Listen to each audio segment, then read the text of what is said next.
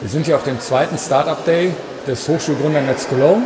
Wir befinden uns an der Universität zu Köln, in dem Trakt, wo das Networking stattgefunden hat. Der Startup Day klingt gerade aus, hatten ein chronologisch aufgebautes Programm, haben gestartet mit einem Erfahrungsbericht zum Thema von der Hochschule in den Chefsessel. Ja, die Idee war ja vor allem Studierenden Lust zu machen, zu gründen. Und das ist tatsächlich ein Anliegen von mir. Es ging ja genauso. Ich bin ja auch direkt aus, aus der Uni raus in, in ein Startup rein und habe mein Studium dann irgendwann sechs Jahre später überhaupt erst abgeschlossen. Und ich glaube, das ist auch genau der richtige Zeitpunkt, weil man noch so offen ist, weil man überhaupt nichts zu verlieren hat. Die Fallhöhe ist halt minimal. Ne? Ich hatten dann eine Diskussionsrunde, Panel-Diskussion zum Thema Web 3.0. Welche Nischen gibt es da überhaupt? Wie entwickle ich ein Geschäftsmodell im Web 3.0? Da hatten wir auf dem Podium zum Beispiel den Tom Bachem, wir hatten dabei den Clemens Gebicki, wir hatten Thomas Grother, äh, wir hatten Christoph Kasper, der das Ganze moderiert hat und Wea Stiebeck. Wie pitche ich denn überhaupt vor Investoren?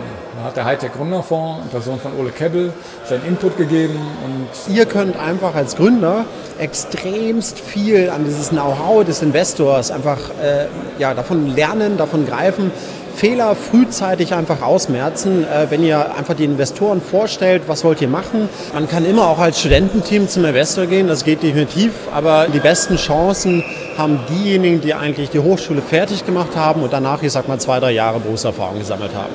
Also sehr praktische Hands-on Tipps und das ist auch der Anspruch, den wir hier haben. Was ich sehr schön finde heute ist, man kann ähm, direkt Kontakt aufnehmen zu, zu, Kapitalgebern, zu Investoren.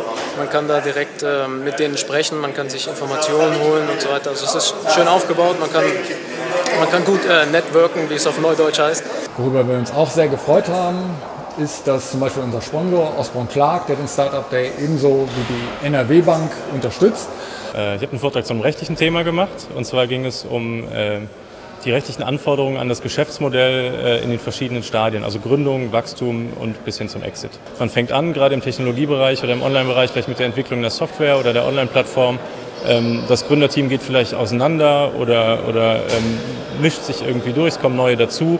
Ähm, und gerade die rechte Situation an dem, was man schon so geschaffen und, und entwickelt hat, äh, ist dann meistens unklar.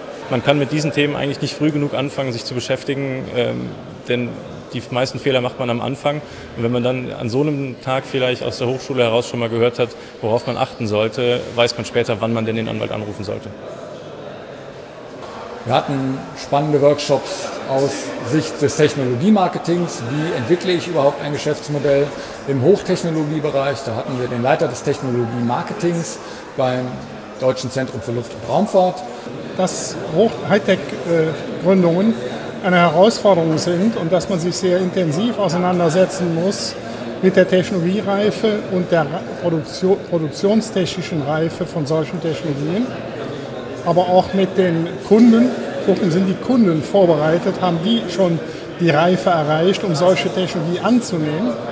Und in diesem Kontext muss man sehr intensiv recherchieren bei einer Unternehmensgründung um die richtige Richtung zu finden und frühzeitig die Risiken, die mit solchen Hochtechnologien verbunden sind, die mit der Einführung solcher Technologien verbunden sind, in den Griff zu bekommen.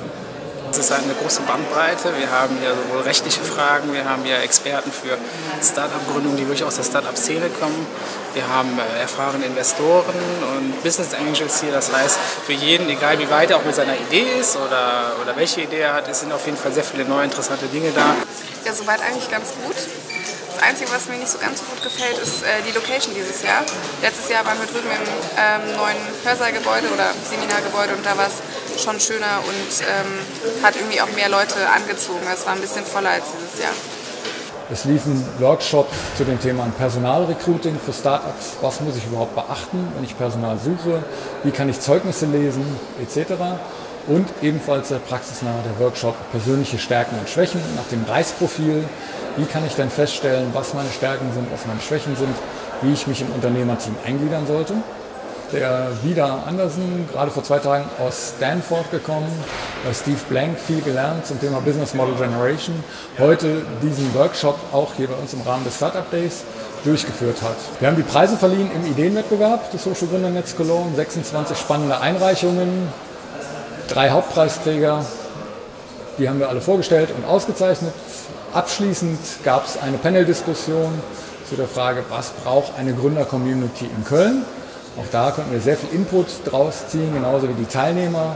Es gab viele spannende Anregungen, was könnte man noch machen, was wird neben den schon etablierten Formaten hier in Köln noch benötigt, um die Startup-Szene zu befruchten. Und ja, mal sehen, was wir daraus gelernt haben, wie wir den Startup Day im kommenden Jahr gestalten. Diese Veranstaltung sagt es ja schon eingangs, dass man zum zweiten Mal macht, ist in Köln Tradition. Wir werden es sogar zum dritten Mal machen im kommenden Jahr, Ende Juni. Und das Format sicherlich erweitern.